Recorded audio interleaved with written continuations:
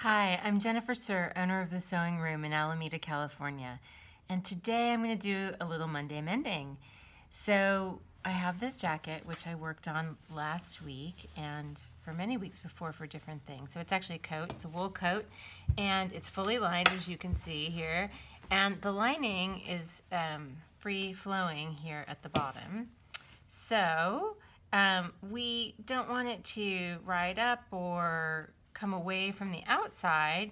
So what one of the common things that people that manufacturers do is do these little thread chains that attach the lining to the um, outside so it kind of stays better in place but still is able to move with the garment. So this coat is now missing one, two, three thread chains and I thought today I would show you how to make a thread chain because that's my Monday mending. I need to get it done so I can wear my coat. Okay, so to begin, I'm doing it today with, um, with a single layer of embroidery floss. I've got it knotted on one end and I have a good sharp needle that has a big enough eye that I can put the embroidery floss through. So I'm going to go out of the screen a little bit so you can maybe see a little bit better what I'm up to. And what I'm going to do here is I'm going to start by, um, I'm to clip off the old thread chain that's coming undone. And I'm going to secure my thread strand underneath and through all the layers so the knot is really secure underneath. And then basically what we're doing is a thread chain that is like finger crochet. Oh, so here, I think I need to move back a little bit. But here we go, finger crochet. So I'm taking a loop with my fingers here like this, like this. I'm making a loop. And then I am, I'm switching my fingers here. So the loop crosses behind. And then what I'm doing is I'm catching the thread with my other finger and bringing it through that loop.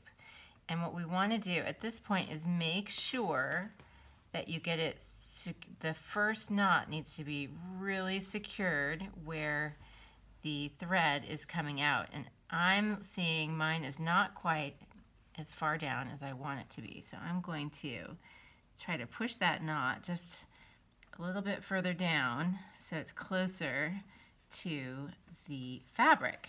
That makes it really strong. And then now that it's close to the fabric, I am going to continue my thread chain. So that knot kind of wants to move a little bit, so you have to get it really secure. there we go.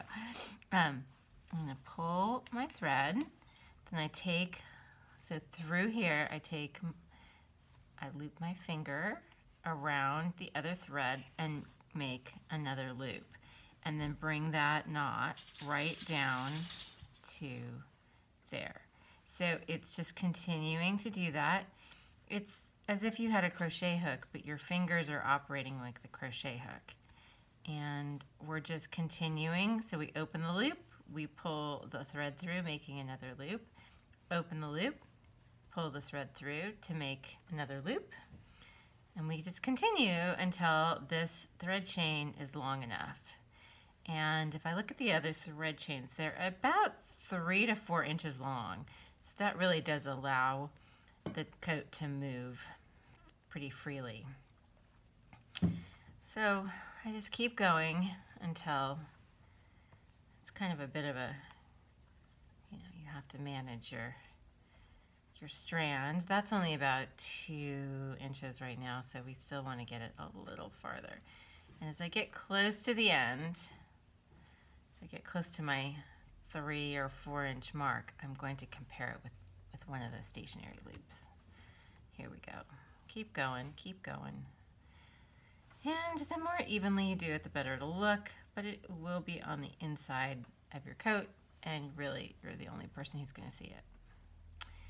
This is also a technique you can use when you're sewing your own clothes, not just for mending but thread loops can make fantastic belt loops on, on dresses and they can do the same function on a coat that you have made yourself. So my thread loop is actually a little longer, but I'm kind of okay with that. I could, I could undo, undo it a little bit, but I don't want to completely lose my loop. So I'm going to stick my needle in there to make sure I have a loop.